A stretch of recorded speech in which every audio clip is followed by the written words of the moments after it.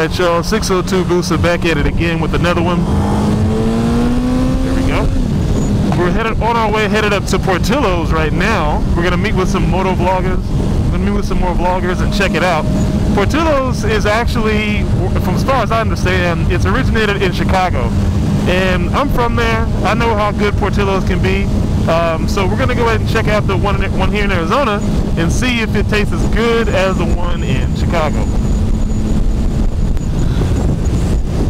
Also, I installed this, um, if you can tell right here, uh, installed my uh, GoPro on my mirror. I guess that's the one nice thing about these stock Hayabusa mirrors, um, is that they're just so big. It makes it easy for me to mount on a GoPro. I don't know why I didn't think of this sooner, but it actually works pretty good.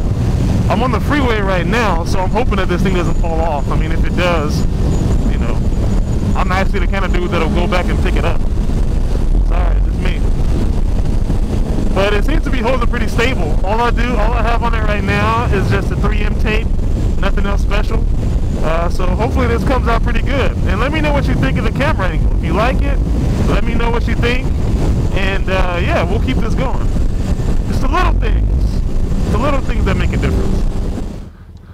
So this place is called Portillo's. Portillo's. Yeah, the name of this place is called Portillo's. Originally, they're from Chicago, and you know everybody in Chicago raves about it. I mean, you know, from Italian beef to the shakes, the malts, everything about that place just screams like you know good Chicago Italian food. So they finally built two here in Phoenix, one in Scottsdale, and then there's another one that's in Tempe. And I like the one in Tempe personally because it's just you know it's a nicer to nicer to look at, Mm. and you got plenty of places to take good pictures around there. So. So tell me more about that bike, man. That's a Vulcan 900. It's the Kawasaki Vulcan 900. It is an underpowered uh, city cruiser, pretty much. Why do you say underpowered? It only has like I think like 60 horsepower. Oh, I see. Yeah, yeah. I know what you so it's a it's a small engine, but my Jason was hit in a parking lot, so I was kind of in a uh, pinch to get a bike to get to work, Right.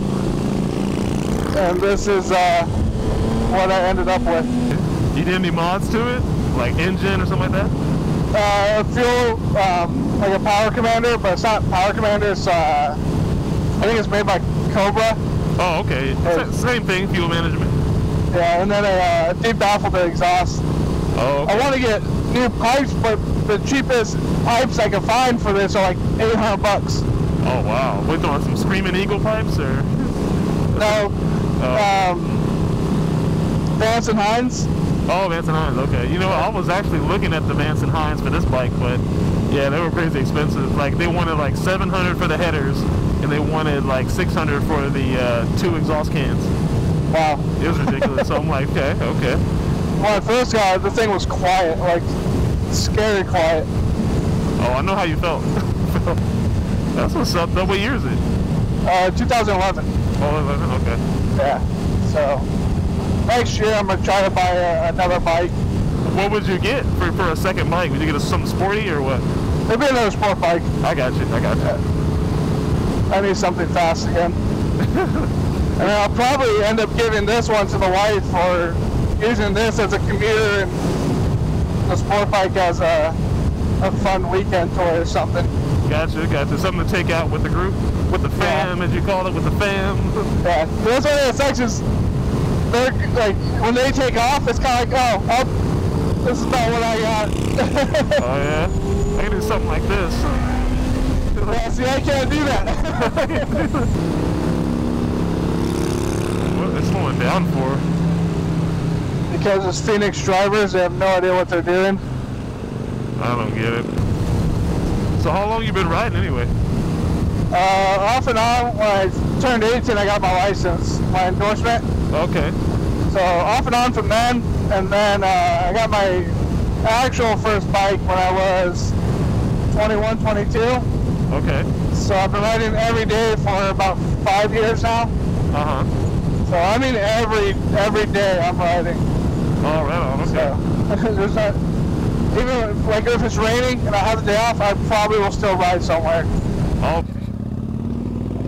So this is it, Portillo's hot dogs. Park next to them railbacks. Where are they at? That's Is just there bike one. parking? Nah, there's not really a bike park over here. But you probably squeeze in next to that other one. Uh, hopefully not piss them off. uh, Huh, for real? Yeah, you'll probably piss them off. let's leave them room to get out.